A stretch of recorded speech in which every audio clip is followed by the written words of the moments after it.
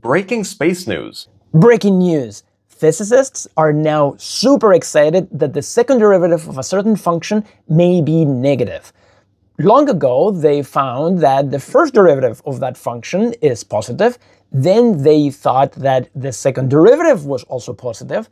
Then they were shocked that the third derivative could be negative. And now they think that the second derivative itself may be negative. Let me explain. All this excitement is about the study of cosmology, about the expansion of the universe. And as you may have heard, there is breaking news in this area. The expansion of our universe might be slowing down. But for all of us that are not cosmologists, their terminology is a little bit confusing. This expansion, slowing down, acceleration, deceleration.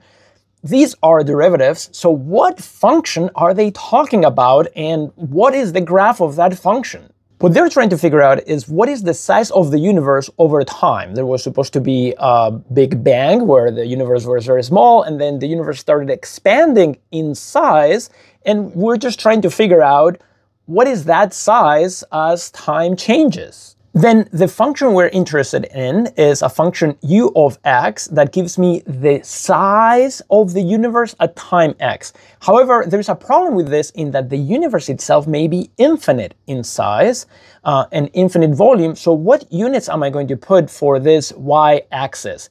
Um, so to solve that problem, instead of using the total size of the universe, cosmologists use the average distance between galactic objects, such as galaxies, so that if the universe is expanding, that average distance is also increasing.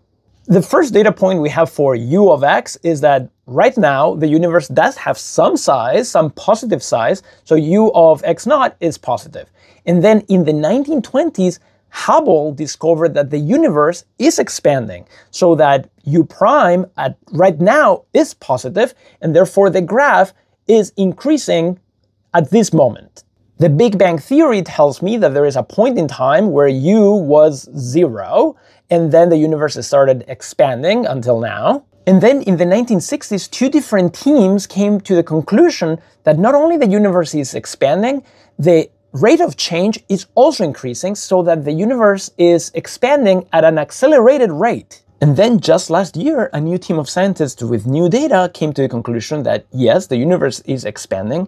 Yes, it seems that it's expanding at an accelerated rate, but it looks that that acceleration is slowing down. The third derivative of that function is negative, and that has consequences for the future of the universe. Because if the third derivative is negative, well, that means that the acceleration is decreasing, and now there are many possibilities. The acceleration could be always positive and the universe keep expanding, or the acceleration could become zero, or the acceleration could become negative, in which case there is a deceleration period that can even result in a shrinking, a collapsing of the universe in the future. And then the breaking news today is that yes, the universe is increasing in size, but the second derivative may already be negative, in which case we're already in this stage of deceleration and some point in the future we could hit a max size of the universe and then start decreasing in size and possibly